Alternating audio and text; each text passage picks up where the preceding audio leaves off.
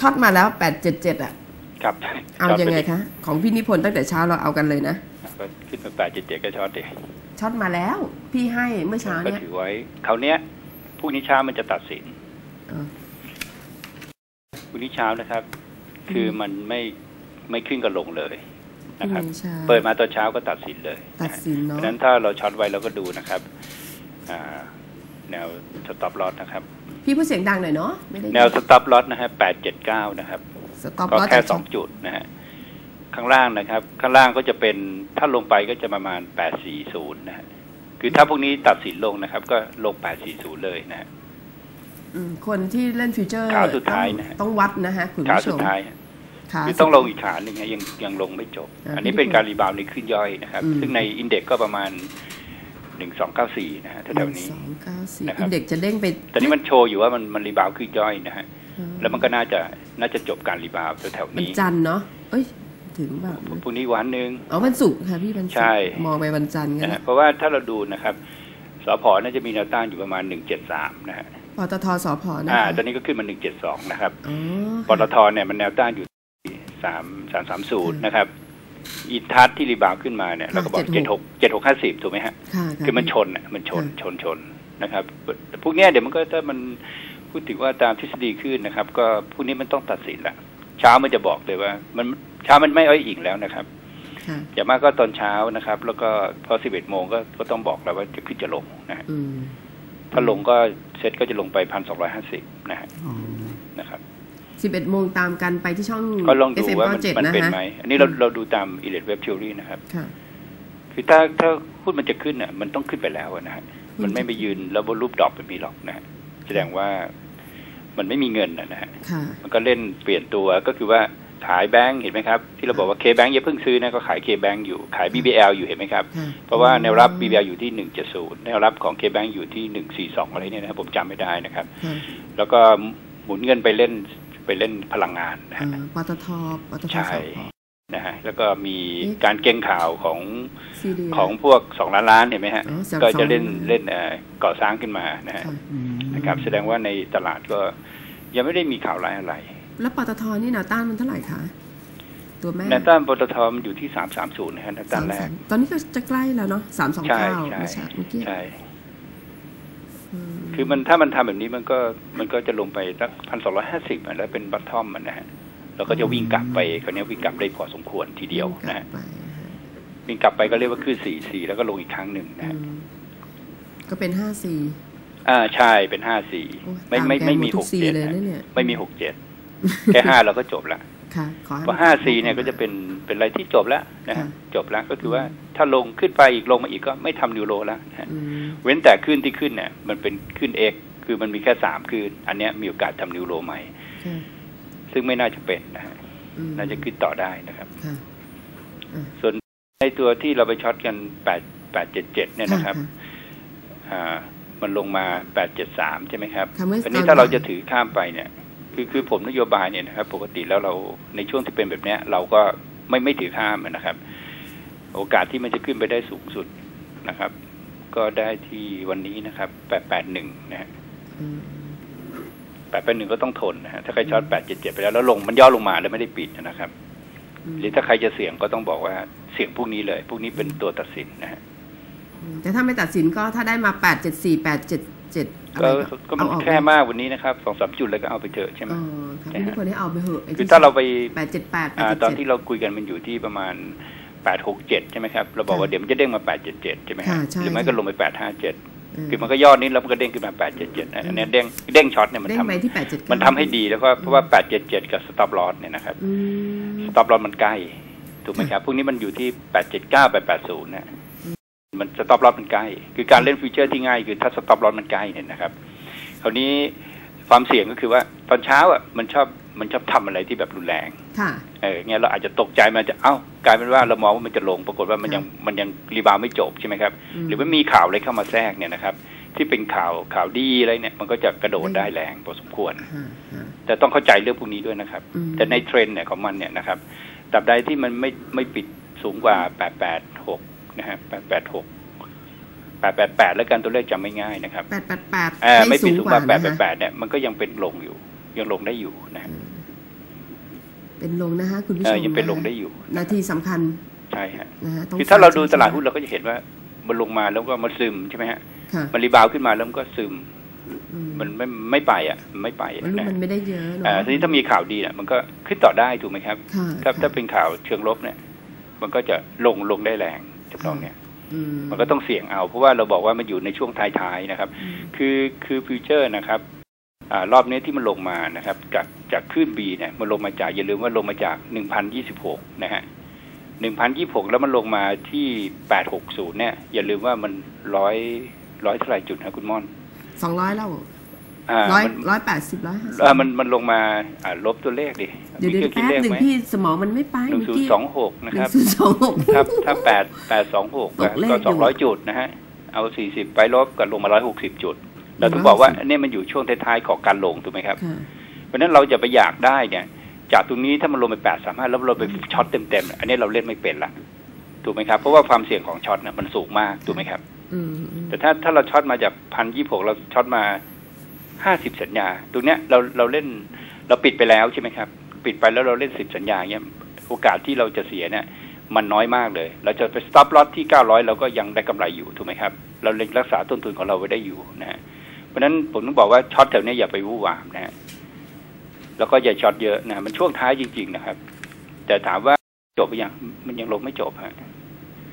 แต่อย่าละโมบที่จะเออใช่มันยังลงไม่จบอะมันยังเหลืออีกระลอกหนึ่งก็เรียกอีกคลื่นหนึ่งแต่มันอาจจะเด้งที่พี่นิพนธ์พูดถึง ใช่ แต่ก่อนที่มันจะลงอีกคลื่นหนึ่งพรุ่งนี้มันอาจจะมีข่าวอะไรก็แล้วมันก็เด้งพรวดขึ้นไปแปดเก้าศูนย์ทุกคนอะไหนบอกว่าตรงนั้นตรงนั้นเนี่ยเหี้ยมันไม่ใช่นะอืม คือมันเด้งเราก็ช็อตไปเพราะมันต้องลงอีกระลอกหนึ่งค่ะต้องลงไม่ว่าจะมีข่าวอะไรมาแทรกเนี่ยมันต้องลงอีกทีหนึ่งอืมอันนี้ถ้ามันเด้งขึ้นไปที่ที่แปดเก้าศูนย์ได้ เวลามันลงมาครั้งเนี้ยมันอาจจะลงมาแค่โลเดิมคือแปดห้าเจ็ดค่ะมันก็จะไม่ลงไปแปดสามห้าแต่ถ้าพเมื่รุ่องวานนี้มันแปดลงเลยเนี่ยมันจะลงแปดสามประมาณแปดสี่ศูนย์แปดสามห้านะหลุดหน่อยหนึ่งใช่ไหมฮะใช่ ถ้าพรุ่งนี้มันลงเลยนะพรุ่งคือนี้ตอนนี้นะมัคะนคุคณรบผู้ชแล้วมมันไม่ถือว่าการปรับฐานของมันเนี่ย ถ้ามันไม่ขึ้นต่อขยายเนี่ยมันไม่มีสิทธิ์ต่อขยายอีกแล้วนะครับอืมก็คือว่ามันจะต้องลงละ ทีนี้ไอ้ที่เราวิ่งหาข่าวซัพพอร์ตว่ามันจะลงจะลงที่เขาพูดกันไม่ว่าจะเป็นสงครามซีเรียหรือโอ้ยว่ามันมันสร้างมาเองไงไม่ต้องไปหาหรอกค่ะเดี๋ยวมันก็สร้างเองมันแต่มันจะให้ลงอะ มันจอกันแล้วนะทอมฮอคอะไรแล้วนะมันสามต้องคิดสามแบบลูกสามอะไรเราอะต้องคิดอย่างนี้ว่าทฤษฎีผลประโยชน์นะฮะค่ะถ้าจะบุกซีเรียเนี่ยนะครับค่ะแล้วไปบุกฆ่าอาวุธจากใครค่ะคือคืออเมริกาจะได้อย่างเดียวก็คือขายอาวุธค่ะ แล้วซีเรียมันไม่มีน้ำมันนะกูค่ะจะไปเก็บค่าปฏิกรณ์สงครามจากซีเรียได้ที่ไหนมิจะสร้างตึกอะอ๋อเขาจะทะลุเส้นกูจะทาเอางอะไรเอาอะน้ำแล้มัวนเพราะฉะนั้นเอาอทฤอกษฎีผลประโยชน์เนี่ยนะเออเขาเส้นทางปล่อยเขาไม่น้ำนเอาหรอกแต่ถ้าท่อัฟกานิสถานเนี่ยมันมีแร่ธาตุมันอยู่ใกล้เขตน้ำมันของของรัสเซียใช่ไหมครับค่ะมันอาจจะมีน้ำมันในอัฟกานิสถานอย่างเงี้ยเขาเอาอืมแต่ว่าทำไมเขาบุกอิรักเขายึดบ่อน้ำมันอิรักไงค่ะไอ้เงี้ยเขาเอา แต่ถามว่าให้เขาไปไปบุกซีเรียซีเรียมีอะไรอะ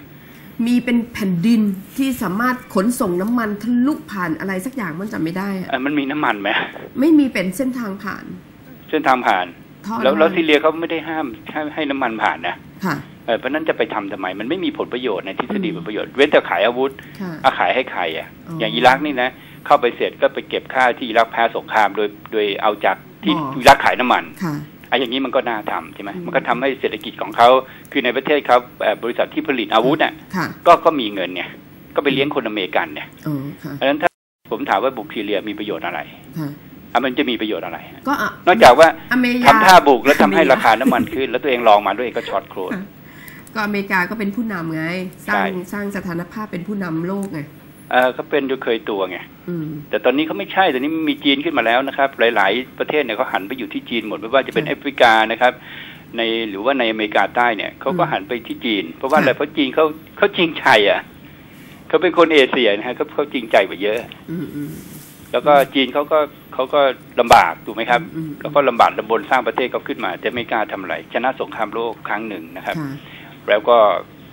เป็นเจ้าโลก เป็นเสร็จแล้วก็คือคือเราอย่าลืมว่าในยุโรปเนี่ยหืออเมริกาไม่ได้เลยนะครับค่ะเพราะว่าในในสนธิสัญญานาโตเนี่ยในยุโรปจะไม่มีอาวุธเลยนะอืมไม่มีประเทศไหนมีเลยนะครับ ก็จะมีรัสเซียนะครับเพราะค่ะอ่าจะมีรัสเซียแล้วก็จะมีจีนนะครับอืมปัจจีนเนี่ยก็เป็นพวกเขาอินเดีย พวกนี้มีนิวเคลียร์เนี่ยอืมก็จะเป็นพวกอเมริกาทั้งหมดค่ะคือเป็นลูกน้องอเมริกากับอังกฤษอืมอืมคือเราถ้าเราวิเคราะห์ในเชิงสงครามโดยเรามีเนี่ยเราบอกว่าโอ้มันแปลกมากถ้าจะบุกซีเรียเพื่อที่จะไปไปช่วยใครฮะค่ะค่ะพี่ช่วยใครพวกคริสต์ด้วยกันค่ะดีไหมฮะก็ช่วยฟันใครธงพี่นิพนธ์บอกว่าไม่มีสงครามเนาะเอออืมคือมันไม่มีผลประโยชน์ที่จะค่ะทำสงถ้าอย่างคนั้รานมอะผลประโยชน์มันน้อยมากซึ่งค่ะไม่รู้จะไปถ้าเก็บกับใครอะค่ะพี่ถ้างั้นกลับมาที่หุ้นนะฮะครับ ถ้ามาที่หุ้นน่ะมันไม่มีสงครามมันไม่มีอะไรแล้วถ้าหุ้นมันจะพี่บอกว่ามันจะตกไปมันจะตกไปเพราะอะไรฮะอ๋อหุ้นมันจะตกไปเพราะอะไรเดี๋ยวพรุ่งนี้มันก็จะบอกเองเขาก็โอเคจะมีคนมาอธิบายไงเออว่ามันตกเพราะอะไรไงโอเคแต่เราเนี่ยเราบอกว่า หนึ่งหกหนึ่งสี่เนี่ยแล้วหุ้นมันจะตกใหญ่ค่ะหนึ่งหกหนึ่งสี่อ่าไม่ที่เราบอกว่าให้คันร้อนหนึ่งหกหนึ่งสี่ไงแล้ววันนั้นคนก็บอกว่าไม่ใช่นะครับ มีคนไปบอกว่าผมไม่ไปชี้นำตลาด ว่ามันจะลงเจ็ดวันอย่างเงี้ยผมก็ไม่ค่อยอยากพูดถูกไหมครับค่ะแล้วสุดท้ายมันลงมาเพราะอะไรฮะตอนนี้มันอธิบายหมดหรือยังครับว่ามันลงมาเพราะอะไรอ๋อพอเขาบอกอธิบายว่าเลือก QE ไงผมก็ไม่รู้ว่ามันจะแต่เลือกแต่ QE เหตุผลที่พี่ให้ไปหนึ่งหกหนึ่งสี่ต้องเอ่อขายออกไป ต้องขายออกไปไงเหแล้วตุผผลมที่บอกว่ามันจะลงเพราะอะไรแรงถูกไหมครับเพราะอะไร ก็มันครบมันครบแล้วว่าคือเราดูอ๋อเทคนิกราคฟมันบอกว่าใช่ไหมเงินมันอ๋อออกแล้วอะค่ะคือมันไม่รู้จะดันไปผลประโยชน์ทางขาขึ้นน่ะมันไม่มีแล้ว มันก็ต้องกดมาทางขาลง อันนี้คือด้วยด้วยเหตุผลพื้นฐานที่พี่พูดถึงเงินเข้าเงินออกใช่หรือว่าด้วยเหตุผลเรื่องกราฟที่พี่ดูคะมอนฮะพื้นฐานของโลกเนี่ยนะครับค่ะก็คือ GDP ของโลกเนี่ยค่ะมันก็เห็นภาพอยู่แล้วอ่านะครับเขาคำนวณ GDP ของโลกเนี่ย เขาบอกว่าปีหน้าโลกเนี่ยสมมติว่าโต 3.9เปอร์เซ็นต์เนี่ยนะครับอ๋ออ๋อตัวเขาก็จะลขบอกว่าภูมิภาคไหนโตเท่าไหร่อืมแต่เขาจะมีเส้นเขียวอยู่เส้นหนึ่งเส้นแดงอยู่เส้นหนึ่งค่ะแล้วก็เส้นที่เขาทำนายอยู่เส้นหนึ่งเขาบอกว่ามันสามารถวิ่งได้ทั้งเส้นเขียวเส้นแดงนะอาจจะไม่ตรงกับเขาทำนายก็ได้ คือผมสรุปว่าหุ้นมันขึ้นลงตาม GDP ฮะของโลกเหรอคะของโลกอ๋อประเทศพี่เราก็พี่ขึ้พูนดตามถึงของเรา พี่เอาประมวลของใช่ปัจจัยพื้นฐานของโลก ของโลกเนี่ยมันก็เกี่ยวกับค่ะทั้งหมดมันโยงอะทั้งหมดเกี่ยวกับหุ้นน้ำมันหุ้นอะไรค่ะที่มันเกี่ยวกับโลก แต่แล้ถ้าวประเทศไทยค่ะมันก็เกี่ยวกับ GDP ของประเทศไทยแล้วระบุที่หนึ่งหกหนึ่งสี่ที่ถอยออกไปตัวเลขคลื่นของพี่หรือว่าตัวเลขอะไรคะอ่าหนึ่งเอ่อครบเลยคือขึ้นนั้นไปขึ้นห้าของขึ้นสามใหญ่อ๋ออัอันที่สองเกิดสัญญาณที่เรียกว่าอืม head and shoulder อืมนะครับคือสัญญาณ divergence นะครับค่ะคือสัญญาณทางเงินมันบอกว่าคุณขึ้นเดี๋ยวมาแต่เงินออก หนึ่งหกหนึ่งสี่พี่เอาตารางเนี่ยหนึ่งคนหนึ่งสี่ปิดตามประสิบวันก็คือไปจบสอนในวันที่เจ็ดให้ดูตามตาหน่อยสิอ๋อได้ แล้วพี่อธิบายที่มันลงที่ไม่แล้วขึ้นตรงกราฟมันก็บอกในในค่ะแง่ของอิเลียเวฟมันบอกว่าตรงเนี้ยหนึ่งหกสี่เก้าเนี่ยมันวัดขึ้นมาพอดี เออพี่ไปไปชี้ให้หน่อยคราวที่นะแล้วก็เปิดให้ดูทีหนึ่งค่ะใช่ไหมครับบอกเนี่ยค่ะมันพอดีไหมอ่าทุกคนก็ไปล่าเส้นตามบอกอะมันดีพอดีจริง ๆ คือมันผิดไปจุดหนึ่งมันหค่ะนึ่งหกห้าศูนย์นะฮะอ่าไอ้ตัวนี้วันที่เจ็ดพี่อธิบายเลยนะทำเป็นอ่าเวิร์กช็อปให้เห็นเลยนะใช่จะได้ฮะจำใส่ตาไว้ คือคืออย่างนี้คนเรียนเทคนิคเนี่ยค่ะเราไม่เชื่อเราใช้ไม่เป็นมีสองอย่างคุณมอนค่ะคือเทคนิคเนี่ยมันบอกว่ามันได้รวมข่าวสารไว้ทั้งหมดแล้วค่ะเฉพาะนะเฉพาะหุ้นที่เกี่ยวข้องค่ะที่มีปัจจัยพื้นฐานนะอ่าอ่าไม่ใช่ไม่ใช่เฉพาะที่หุ้นเขามาปั่นกันไอ้นั่นค่ะมันจะไม่เกี่ยวค่ะผมว่าไม่มีใครมาปั่นหุ้นปตทหรอกโอเคพื้นฐานของมันเนี่ยจะเป็นตัวปั่นค่ะปั่นตัวมันเอง แต่การที่มันจะสวิงอยู่สิบเปอร์เซ็นอะไรค่ะทำนองเนี้ยนะค่ะมันก็เป็นไปตามข่าวเขาสมมติว่าผลประโยชน์ของปตทเนี่ยเขาจะต่อเขาจะต่ออืมอายุนะฮะ เขาเขาจะต่ออายุของเอ่อหุ้นกู้ของเขาอย่างเงี้ยอืมหุ้นเขาต้องขึ้น หรือค่ะว่าปตทก็จะได้ประโยชน์จากการขึ้นแก๊ส LNG จนวันที่หนึ่งกันยาใช่ไหมค่ะอันเนี้ยพื้นฐานมันไดเขาไงอืมเขาอาจจะเซฟเงินไปปีหนึ่งสองสามหมื่นล้านก็ไปอยู่ในกำไรของเขาไงค่ะเพราะฉะนั้นหุ้นปตทมันก็ขึ้นถามว่าหุ้นปตทขึ้นเพราะอะไรฮะก็ก็ GDP ของปตทก็คือกำไรของปตทไง GDP ก็คือรายได้ของปตทที่มันสูงขึ้นเนี่ยครับค่ะนั่นแหละก็คือ GDP ของปตทคือรายได้ของปตท แต่ค่าใช้จ่ายมันไม่ขึ้นมันก็คือกำไรเพิ่มนะครับความรู้แกเยอะมากเลยเออเนี่ยก็ถามคือเซ็ตเนี่แกไปมันปตทแล้วเนี่ยใช่ไม่ไม่ถือว่าแกเอา GDP ปตทของประเทศมาประกอบเนี่ยได้ก็คือก็คือ SET Indexค่ะถ้า GDP ของปตทก็คือคืออ่ารายได้ของมันค่ะอะอะนะครับพี่พี่พี่พี่อันเดียวกันพี่สุดยอดเลยม่อนถามเซ็ตพี่เอาปตทมาอธิบายเซ็ตได้อืม เอ่อเรากำลังอธิบายให้คนเข้าใจค่ะว่าค่ะหุ้นมันขึ้นลงเนี่ยเพราะอะไรโอเคเพราะว่าคนค่ะชอบมาพูดว่ามันแบบแบบนู้นแบบนี้ไงค่ะค่ะคือพี่ผมบอกว่าคอของมันจริงๆอะคือ คือพื้นฐานที่มันจริงๆ มันเป็นค่ะตัวไดมันนะฮะอืมเราต้องเชื่อเรื่องพวกนี้ก่อนเราจะไม่เสียแต่หายต้องปัญญาเลิศต้องมีประสบการณ์ 30 ปีถึงจะเชื่อได้แบบที่อ๋อพี่ไม่เชื่จำอเป็นเลยนะครับ คือคือ